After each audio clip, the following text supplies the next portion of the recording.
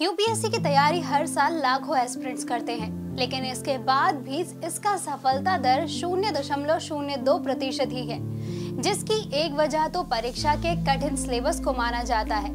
लेकिन इसकी दूसरी वजह भी है, और वो है परीक्षा की तैयारी के दौरान एस्पिरेंट्स की तरफ़ से की जाने वाली बेसिक सी गलतियाँ, जो दिखने में तो छोटी हैं, लेकिन वो ही एस्पिरेंट्स को असफल करवा देती हैं। आमतौर पर ये गलतियाँ वही एस्पिरेंट करते हैं जो पहली बार परीक्षा की तैयारी कर रहे होते हैं। दोस्तों, अगर आप भी यूपीएससी की परीक्षा की तैयारी को शुरू करने की सोच रहे हैं तो आज की ये वीडियो पूरी ज़रूर देखें। नंबर वन पूरा सिलेबस कवर करें। यूपीएससी की तैयारी की शुरुआत में सबसे ज़रूरी होता है उसका सिलेबस इसलिए सबसे पहले एस्पिरेंट्स को अपने सिलेबस को कवर करना चाहिए। इस दौरान उन्हें किसी भी टॉपिक को हल्के में लेकर छोड़ना नहीं चाहिए। चाहे पिछले साल वे टॉपिक कम आए हो यूपीएससी का सिलेबस बड़ा है और परीक्षा में किसी भी सब्जेक्ट से सवाल आ सकते हैं, इसलिए पूरे सिलेबस को अच्छे से पढ़ना बेहद ज़रूरी है, जो परीक्षा में सफलता के लिए बेहद ज़रूरी है नंबर दो, छोटे नोट्स बनाएँ। अब तैयारी तो शुरू हो गई है, लेकिन बार बार तो पूरी किताब पढ़ी नहीं जा सकती इसलिए सबसे ज़रूरी है कि जो भी आपने पढ़ा है, उसके छोटे नोट्स बनाएँ। यहाँ ध्यान देने वाली बात यह है कि नोट्स को बहुत भारी नहीं बनाएँ।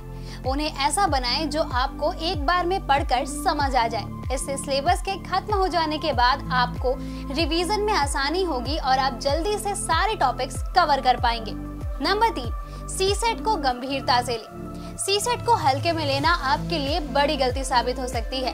इस साल आए क्वेश्चन पेपर को देखकर आप अंदाज़ा लगा सकते हैं कि सी सेट परीक्षा को आसान समझना आपकी कितनी बड़ी गलती हो सकती है। इसलिए सी सेट की तैयारी को सीरियस ले और उसे बाकी सब्जेक्ट्स की तरह ध्यान लगा कर पढ़े।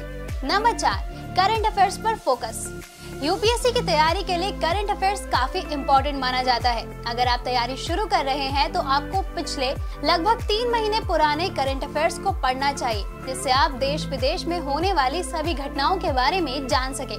इसके लिए हर दिन अखबार पढ़ने की आदत डालें। साथ ही साप्ताहिक और मासिक करंट अफेयर्स ऑनलाइन या किसी किताब की मदद से ज़रूर पढ़े। नंबर पाँच, पिछले सालों के पेपर की मदद ले। यूपीएससी की तैयारी के दौरान पिछले सालों के पेपर पढ़ने की सलाह दी जाती है, जो कि बेहद ज़रूरी है। पिछले साल के पेपर तैयारी के लिए रेडार की तरह होने चाहिए, जो आपकी तैयारी को दिशा प्रदान करते हैं। आपके बेसिक नॉलेज को बढ़ाने के अलावा पिछले साल के पेपर आपके